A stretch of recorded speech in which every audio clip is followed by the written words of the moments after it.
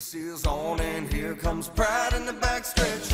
Heartaches going to the inside. My tears are holding back there. It's uh, 649. Welcome back to the show. Uh, Dave Will, hard to believe we are approaching the final weekend and uh, therefore the finals uh, in the rodeo and Chucks. And you're wrapping up day seven for us right now. Yeah, a whole lot of action to come yet, and an interesting day down at the rodeo on Thursday. A couple of Canadians winning their events, making a push for a semifinal showdown tomorrow afternoon.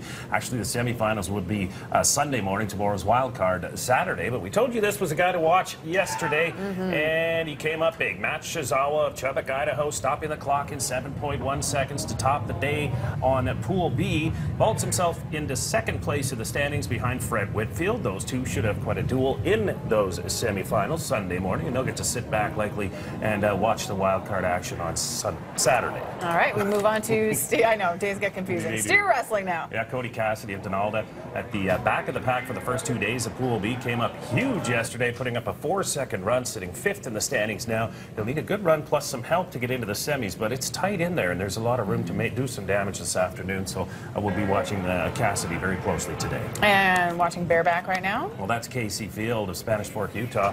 He's got Turkish whiskey here, and he scores an 89 and a half. That's good enough to put Feild in a top spot in the overall standings, just ahead of Manitoba's Orin Lar- Larsen. Uh, their scores were pretty good in yesterday's bareback. They've had a good, uh, lots of good stock to draw from in uh, the bareback here at Pool B. I know you've been watching Larsen. Now moving on to Saddlebronc. Cort Schneer, Scheer, excuse me, of Elsmere, Nebraska, scores an 87 on Just My Luck, moves him into third place, and that's a tie with Zeke Thurston, who we saw in our program the other day from Big Valley. Told you to watch him yesterday, and he scored an 84 and a half himself.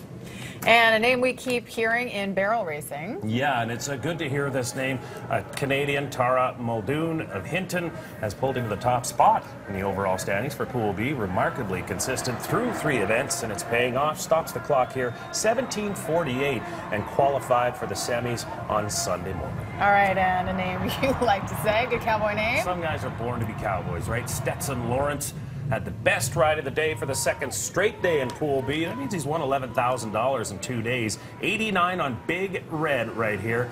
And uh, that's a tie now. Two guys with 11,000. A lot of people in the money, including J.B. Mooney, drawing a bull named Gretzky today, and that could be a great one.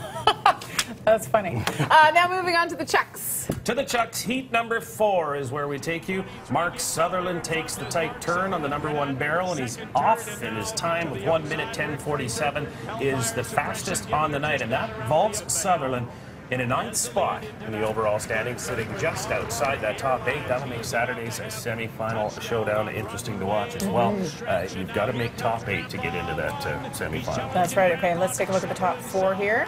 Our leaderboard, Kurt Bensmiller, uh, Mike Vegan, Logan Gorst, and Vert, Vern Nolin still rounding out the top four. Not much in the way of change there. Uh, Jason Glass still knocking at the door in the top eight as well.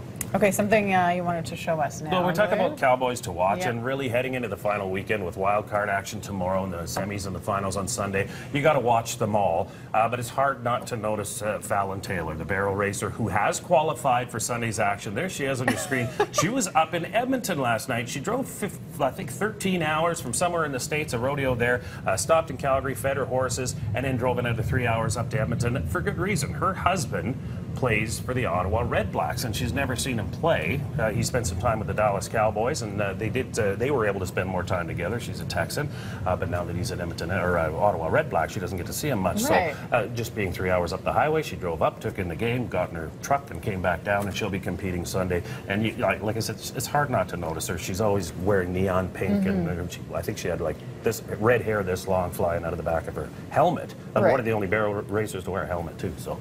Watch for her, and uh, let's watch for uh, Sydney Daines Yeah. and uh, the other barrel racers. Who did we see? Uh, Tara Muldoon. Those are the two Canadians that everybody's going to be watching. But uh, we're looking for Sydney Daines to come out of the wild card just because I'm good friends with her family. Ah, okay. Yeah.